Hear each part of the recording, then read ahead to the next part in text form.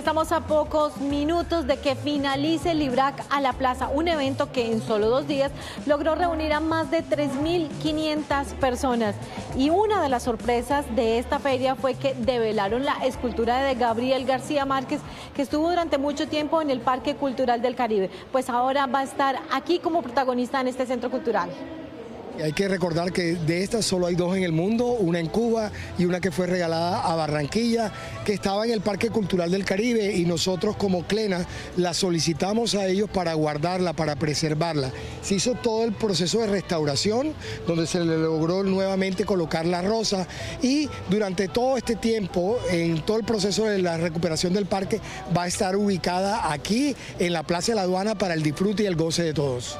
Y como parte de la clausura de esta feria había un evento muy especial, el del performance de Amalia Lu, una chocuana espectacular. Ella es conocida porque en 2001 escribió un libro, se llamó Vean B, mis nanas negras. Era una recopilación de 25 cuentos que relatan los paisajes, las costumbres, los sabores y la idiosincrasia de su pueblo chocuano.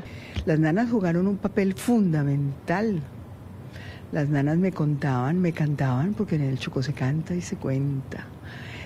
Y me contaban los cuentos de la literatura universal adaptados al entorno chocuano, al entorno negro, eh, que fue una maravilla. El cuento de Pulgarcito que a mí me contaron fue distinto del que le contaron a todo el mundo.